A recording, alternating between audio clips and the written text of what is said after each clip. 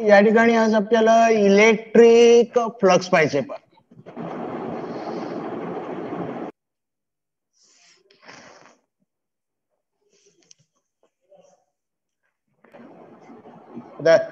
Electric flux म्हणजे काय?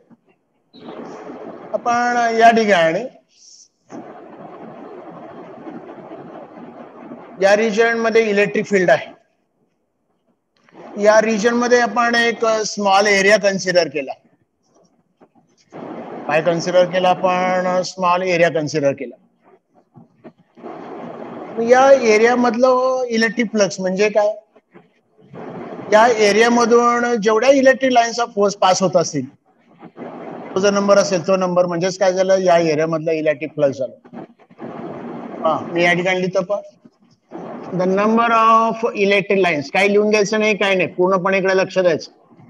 The number of electric lines of force the number of electric lines of force passing through passing passing through given area passing through given area is called as is called as electric flux. Electric flux. Electric flux through that area. काय म्हटलं? ज्या एरियामधलं आपल्याला electric flux पाहिजे त्या एरियामधला जेवढ्या electric लाईनचा force pass होत असेल तो नंबर म्हणजेच काय झालं? त्या एरियामधलं काय झालं? इलेक्ट्रिक फ्लक्स झालं. आपण इलेक्ट्रिक फील्ड इंटेन्सिटी कसं डिफाईन करतो? इलेक्ट्रिक कोणाचा खरखर आवाज येतोय electric field intensity is defined as is defined as electric field intensity is defined as the number of electric lines of force the number of electric number of electric lines of force lines of force per unit area per unit area. Unit एरियामधनं unit एरियामधनं जेवढ्या electric lines of force pass होत असतील ते काय झालं? Electric field intensity म्हणजे कसं? या ठिकाणी हे इलेक्ट्रिक फील्ड आहे. या पॉइंट ए ला आपल्याला काय पाहिजे? इलेक्ट्रिक फील्ड इंटेन्सिटी पाहिजे. मग या पॉइंट भोवती काय करायचं? युनिट एरिया कन्सिडर करायचं. One millimetre square one centimetre square one metre square त्या युनिट एरियामधनं जेवढ्या इलेक्ट्रिक लाईन्स पास होत असतील तो नंबर म्हणजेच काय झालं? Electric field intensity at that point मग इलेक्ट्रिक फील्ड इंटेन्सिटीला आपण ई वापरतो. काय वापरतो? ई वापरतो. मग या ठिकाणी लिहिता येईल आपल्याला. Number of electric lines of force lines of force लिहिलं. डिवायडेड बाय एरिया कोणता area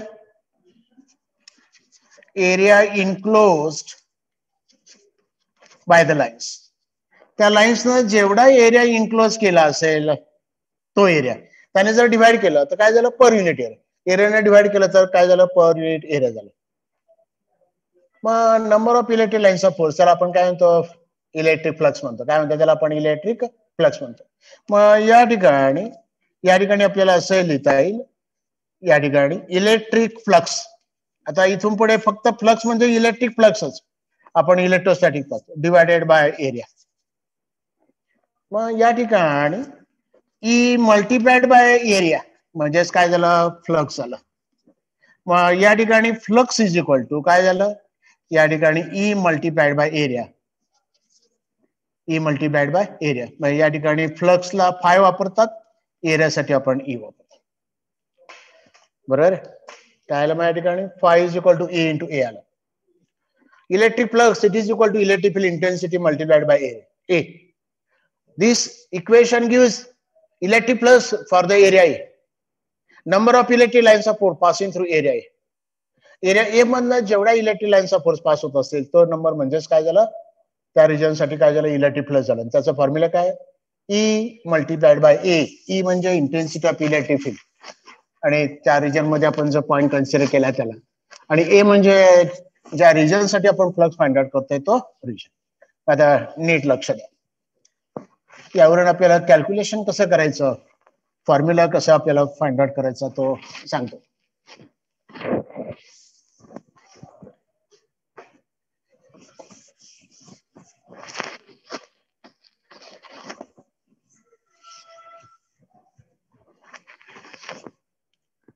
या ठिकाणी आपण हा रिजन कन्सिडर केला. या रिजनमध्ये फील्ड आहे म्हणजे इलेक्ट्रिक फील्ड आहे. या रिजनमध्ये इलेक्ट्रिक फील्ड आहे. कोणत्याही पॉइंटला ते युनिफॉर्म आहे. आणि इलेक्ट्रिक फील्ड इंटेन्सिटीची जी डायरेक्शन आहे ती अशी आहे. युनिफॉर्म आहे ते. काय आहे? युनिफॉर्म आहे. या ठिकाणी एक आपण एरिया कन्सिडर करतोय. काय कन्सिडर करतो? एक हा जो रिजन आहे या रिजनचा जो एरिया असेल तो एरिया मी कॅपिटल एस न काय करतो? डिनोट करतो. एस या एरियामध्ये इलेक्ट्रिक फील्ड आहे ते युनिफॉर्म आहे. त्याचा एक आपण स्मॉल रिजन कन्सिडर केला. स्मॉल एरिया कन्सिडर केला आणि तो काय घेतला आपण? डीएस घेतला. आता इथे कुठेही पॉइंट आपण जर कन्सिडर केला तर इलेक्ट्रिक फील्ड इंटेन्सिटीची डायरेक्शन अशीच राहणार आहे. बरोबर आहे ना? युनिफॉर्म आहे पण मी फक्त बाहेर दाखवलं मला सांगा एरिया ही फ़िज़िकल क्वांटिटी वेक्टर आहे का स्केलर आहे?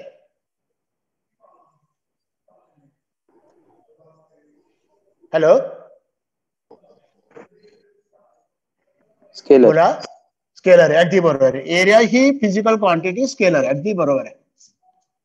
But area of any region it can be represented by a vector called as area vector but restriction condition condition is there which condition which restriction that vector must be perpendicular to that region or to that surface ज्या रिजनचा area आपल्याला वेक्टरने दाखवायचा आहे त्या रिजनला तो area vector हा perpendicular असला पाहिजे मग आपण या ठिकाणी या एरिया डीएस घेतला तो जर परपेंडिक्युलर दाखवायचा असेल तर असा येईल तो बरोबर आहे या रिजनला असं जर कन्सिडर केला तर तो काय झाला? परपेंडिक्युलर झाला.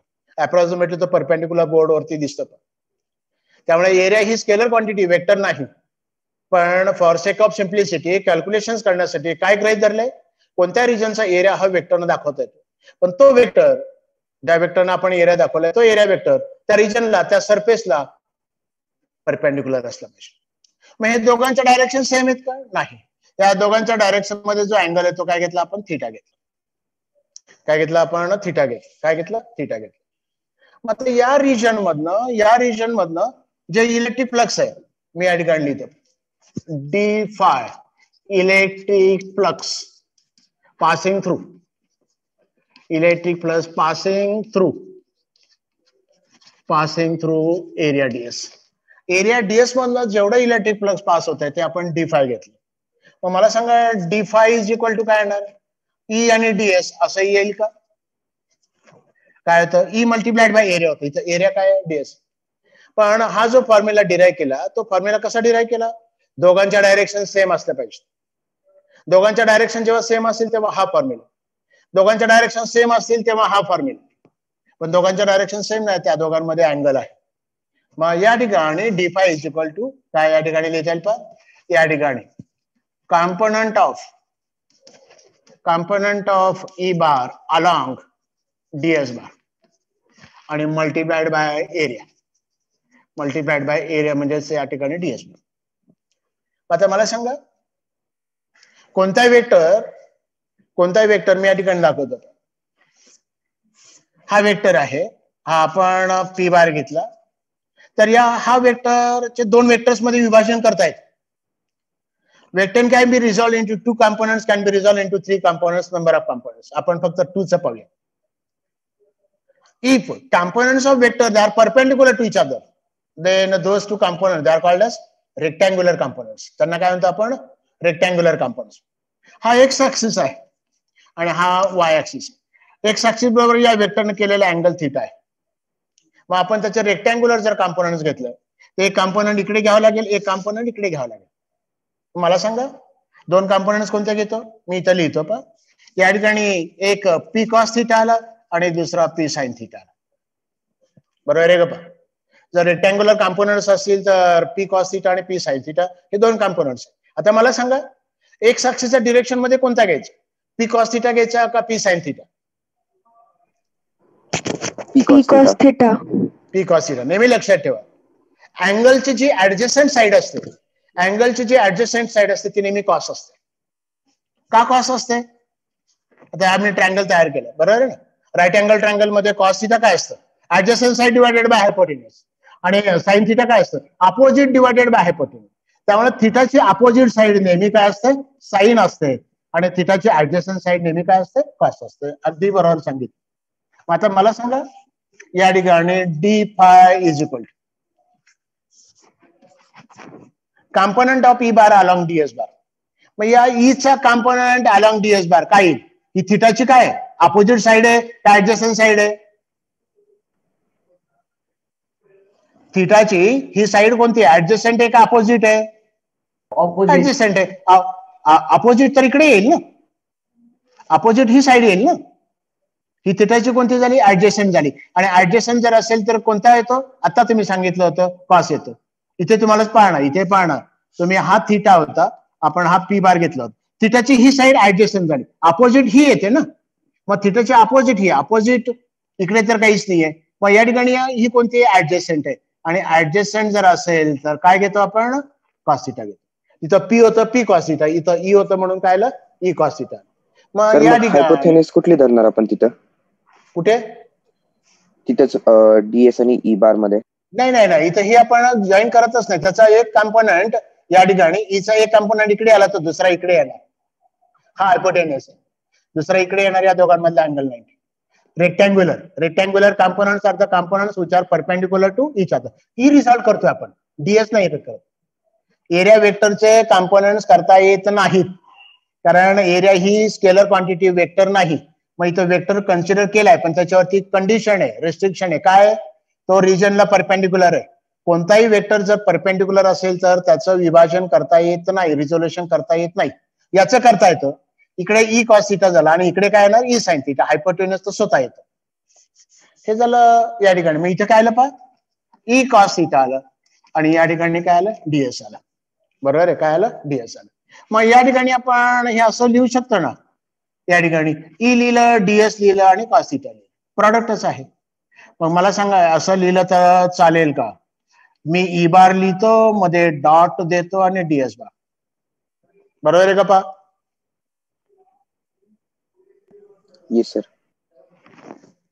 डॉट म्हणजे स्केलर प्रॉडक्ट किंवा डॉट प्रॉडक्ट फॉर्म्युला कसं आहे पा? Magnitude of first magnitude of second and cosine of the angle between them काय लक्षात ठेवायचं? Magnitude of first magnitude of second आणि cosine of the angle between them मग ई बार डॉट बेस हे एवढं काय झालं? फ्लक्स मिळालं. कोणत्या? फक्त एवढ्या रिजन मधनं मिळालं. मग आपल्याला पूर्ण सरफेस मधनं पाहिजे. मग काय करावं लागेल?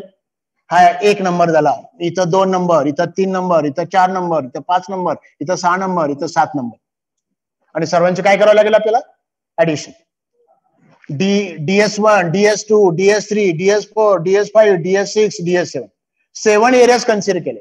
पहिल्याच magnetic flux sorry electric flux d phi one d phi two d phi three d phi four d phi five d phi six d phi seven सर्वांचे काय करावं लागेल आपल्याला? ऍडिशन करावं लागेल. ऍडिशनसाठी दोन सिम्बॉल्स आहेत. कोणते? एक इंटिग्रल आणि दुसरं कोणतं आहे? समेशन जर गॅप नसेल ब्रेक नसेल कंटिन्युअस रिजन असेल तर जनरली इंटिग्रल वापरतात. आणि जर गॅप असेल ब्रेक असेल तर कोणतं वापरतात? समेशन या ठिकाणी मी लिहितो पा total flux total flux through through area S मग काय येणार या ठिकाणी? Phi is equal to phi is equal to integral of integral of d phi आणि इंटिग्रल ऑफ डी फाय म्हणजेच काय आलं? Integral of E bar dot d S bar कोणत्या सरफेस साठी एससाठी. मग काय येणार या ठिकाणी? ई बदलेल का? नाही. ते युनिफॉर्म आहे. या ठिकाणी कोठे पॉईंट कन्सिडर केला तर त्याची मॅग्नेट्यूड बदलणारच नाही. डायरेक्शन बदलणार नाही. मग या ठिकाणी डीएस च्या ठिकाणी काय येणार एस बार आला. बरोबर आहे ना? Ds one ds two ds three ds four म्हणजेच काय एस हा मी या ठिकाणी लिहितो मग. Phi is equal to E bar dot S bar using this equation you can find the flux passing through whole surface area, surface area or area S. If in that region, the electrical intensity at any point is E. या रिजनमध्ये जर electrical इंटेन्सिटीची magnitude जर E असेल direction तर uniform मधलं आहे तर एरिया एस मधलं जे फ्लक्स म्हणजेच काय? इलेक्ट्रिक लाईन्स ऑफ फोर ज्या पास होतात तर या इक्वेशनच्या साह्यानं काय करता येईल आपल्याला? फाइंड आउट करता येईल. आता याचं युनिट पा त्याचं एक युनिट आपण पाहिलं. कोणतं पाहिलं? काल परवा आपण पाहिलं न्यूटन पर कुलम. दुसरं एक त्याचं युनिट आहे व्होल्ट पर मीटर आता हे युनिट फक्त लक्षात ठेवा. जेव्हा येईल तेव्हा मी शिकवेल कारण तुमच्या सिलेबस मधनं twenty five percent syllabus delete केलाय. तर डिलीट सिलेबसमध्ये हे युनिट आहे. मग आता डिलीटेड सिलेबस मधलं युनिट आहे म्हणून ते वापरायचं नाही का? अप्लाय करायचं नाही का? तर करायचं. काय पा होल्ड पर मीटर आहे. मग या ईचा युनिट आहे होल पर मीटर आणि हा एरिया आहे. एरियाचं काय? मीटर स्क्वेअर मग एक मीटर कॅन्सल झालं. काय राहिलं? होल्ट मीटर लक्षात ठेवा. इलेक्ट्रिक फ्लक्सचं युनिट काय आलं? होल्ट मीटर आलं. काय आलं? होल्ट मीटर आलं. न्यूटन पर कुलम आहे. पण इथं एरिया असल्यामुळे आपण होल्ट पर मीटर कन्सिडर केलं. पुन्हा एकदा पहा. Electric flux passing through given area is nothing but the number of electric lines of force passing through that area. ज्या एरियामधनं ज्या रिजन मधनं आपल्याला इलेक्ट्रिक फ्लक्स पाहिजे त्या एरियामधनं जेवढ्या लाईन्स पास होतील तो नंबर म्हणजेच काय झालं? त्या रिजनसाठी इलेक्ट्रिक फ्लक्स झालं. काय झालं? Electric let E be the uniform electrical intensity in this region which is directed directed from left to right left to right let area of this region is capital S. We'll consider a small area ds of this area S. Area is a scalar quantity, but for sake of simplicity, it can be represented by a vector. But condition is, it is always perpendicular to that surface. ज्या रिजनचा ज्या सर्फेसचा area आपल्याला वेक्टरने दाखवायचा त्या सर्फेसला तो vector perpendicular असला पाहिजे त्याला components नसतात त्याचं रिझोल्युशन होत नाही लेट डीएस बार झाला तो आपण. एरिया डीएस घेतला होता तो वेक्टर डीएस बार. आणि या ठिकाणी आपण ई असं आहे. Let theta be the angle between E bar and ds bar let d phi be the electric flux passing through area ds d phi काय घेतलं आपण? Electric flux passing through area ds घेतलं. त्या अगोदर आपण एक फॉर्म्युला डिराईव्ह केला तर तो लक्षात ठेवायचा.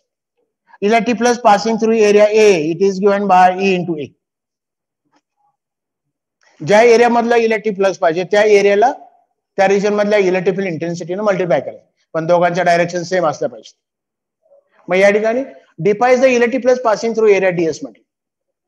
मग फॉर्म्युला काय? ई मल्टिप्लाइड बाय एरिया पण ई ए आणि डीएस आहे दोघांमध्ये दोघांच्या डायरेक्शन सेम नाहीत. मग या ठिकाणी त्यांच्यामध्ये अँगल थिट आहे.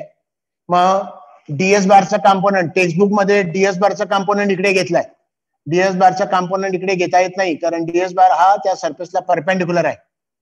मग आपण ई बारचा डीएस बारच्या डिरेक्शनमध्ये कॉम्पोनंट घेतला तो ई कॉस थिटा घेतला ऍडजस्टंट नेहमी कॉस असतो अपोजिट नेहमी साईन असते लक्षात ठेवायचं. मग component of E bar along ds bar multiplied by area ds मग मॅग्निट्यूड घेतलं या ठिकाणी ई कॉस थिटा आलं तर डीएस आलं. लिहिताना ई डीएस लिहिलं कॉस थिटा लिहिलं. या तिघांमुळे आपण एक कॉम्पॅक्ट केलं equation E bar dot ds bar scalar product dot product of vectors E bar and ds bar मग तो इव्हॅल्युएट कसा करतो आपण? Magnitude of first magnitude of second and cosine of the angle between them d phi is equal to E bar dot ds हे equation काय देतं? Electric flux कोणत्या एरियासाठी डीएससाठी. आपल्याला कोणत्या एरियासाठी फाइंड आउट करायचं? एस मग फॉर एक्झाम्पल याचे मी चार भाग केले. वन टू थ्री आणि four ds one ds two ds three ds four म्हणजे काय येणार? D phi one d phi two d phi three आणि डी फाय फोर आणि चौघांची ऍडिशन केली तर? पूर्ण एसमध्ये मिळेल. मग दो अनेक टर्मच्या ऍडिशनसाठी दोन सिम्बल्स वापरतो. एक सी समेशन आणि इंटिग्रल इथं इंटिग्रल वापरतो. Phi let phi be the total flux through area S it is integral of d phi integral of d phi म्हणजे? D phi one plus d phi two plus d phi three plus d phi four मग integral of E bar dot ds bar area एससाठी. मग DS bar DS bar काय येणार ds one ds two ds three DS four यांची addition आणि यांची addition म्हणजेच काय आलं? एस आलं. म्हणून E bar dot S bar आलं. काय आलं? Phi is equal to E bar dot S आता एस काय एरिया आहे? एरियाचं युनिट काय मीटर स्क्वेअर आणि e ईचं काय होल्ड पर मीटर लक्षात ठेवायचं. न्यूटन पर कुलम इथं घेतलं तर काही कॅन्सल होत नाही. होल्ड पर मीटर आहे. मग एक मीटर कॅन्सल झालं. होल्ट मीटर इलेक्ट्रिक फ्लक्सचं युनिट आहे होल्ट मीटर इलेक्ट्रिक फ्लक्सचं युनिट काय आहे? होल्ट मीटर मग या ठिकाणी एवढं तरी लक्षात ठेवलं पाहिजे तुम्ही हा formula phi is equal to E bar dot S bar S मधनं एरिया एस मधनं जे इलेक्ट्रिक प्लस पास होतं त्यासाठी तो फॉर्म्युला आणि त्या रिजनमध्ये त्या एरियामध्ये इलेक्ट्रिक फील्ड इंटेन्सिटी काय असलं पाहिजे? ई असलं हे झालं इलेक्ट्रिक फ्लक्स झालं पासिंग थ्रू गिवन एरिया तर या ठिकाणी आपल्याला एक लॉ आहे. त्याचं स्टेटमेंट आहे पण प्रूफ नाही. प्रूफ त्यांनी डिलीट केलं पाहिजे ट्वेंटी फाय पर्सेंट जो डिलीटेड सिलेबस आहे त्यामध्ये ते प्रूफ येतं. तर ते प्रूफ नाही आपल्याला. तर त्याचं स्टेटमेंट आहे. मग त्याचं स्टेटमेंट काय नीट लक्ष आणि त्याचं नाव आहे त्या ठिकाणी Gauss's law Gauss's law in electrostatics Gauss's law in electrostatics me statement लिहितो आणि मग आपण ते डिस्कस करूया. म्हणजे तुम्हाला समजेल. The flux the flux the flux due to net electric flux net electric field flux due to net electric field. Passing through. Passing through. Passing through closed surface. Closed surface is closed surface equals to equals to the net charge. Enclosed net charge enclosed by the surface enclosed by the surface divided by divided by epsilon naught त्याला काय म्हणतो आपण permittivity of free space म्हणतो काय म्हटलं the flux due to net electric field passing through close the surface equals to the net charge net charge म्हणजे net electric charge enclose by the close surface enclose by the close surface Gauss's law gives the relation between electric field and electric flux. Electric flux आणि electric field मधलं जे relation ते कोणी propose केले Gauss's scientist त्याला नाव दिलंय गॉसेसला the flux due to net electric field passing through close surface equals to the net charge enclose by the surface divided by epsilon naught close surface त्याला ठराविक आकार नसतो. कोणत्याही आकाराचा तो क्लोज सरफेस हा क्लोज सरफेस आपण कन्सिडर केला. या क्लोज्ड सरफेस मध्ये या ठिकाणी या क्लोज सरफेस चार्ज कोणता आहे? प्लस क्यू घेतला. मग या क्लोज्ड सरफेस मध्ये जो टोटल चार्ज आहे नेट चार्ज म्हणजे. नेट म्हणजेच टोटल नेट म्हणजेच काय? Total charge total charge enclose by that close surface मग या क्लोज सरफेस मध्ये एकच चार्ज घेतलाय आपण. काय घेतलाय आपण? प्लस क्यू घेतला. बरोबर? आहे मग या क्लोज्ड सरफेस मधनं या क्लोज सरफेस मध्ये इलेक्ट्रिक फील्ड आहे. बरोबर काय इलेक्ट्रिक फील्ड आहे? आणि या क्लोज सरफेस मधनं जे इलेक्ट्रिक प्लस आहे म्हणजेच काय? Number of electric lines of force passing through given area बरोबर? आता आपण फॉर्म्युला काय डिराईव्ह केला होता? फाय इज इक्वल टू कोण सांगतं शेवटचं इक्वेशन काय होतं शेवटचं equation phi is equal to E bar dot H dot अगदी बरोबर. E bar dot S bar अगदी बरोबर आहे. This equation gives the electric flux passing through the surface जर त्याचा एरिया जर आपण एस घेतला आणि इलेक्ट्रिकल इंटेन्सिटी घेतली हे किती असतं? या ठिकाणी हे किती असतं? The net charge enclose by the close surface divided by epsilon naught बरोबर आहे? The flux due to net electric field passing through close surface equals to the net charge enclose by the surface divided by epsilon naught म्हणजेच या ठिकाणी इप्स या ठिकाणी charge divided by epsilon naught आणि area जर स्मॉल घेतला तर या ठिकाणी जे अगोदरच इक्वेशन होतं ते येणार. बरोबर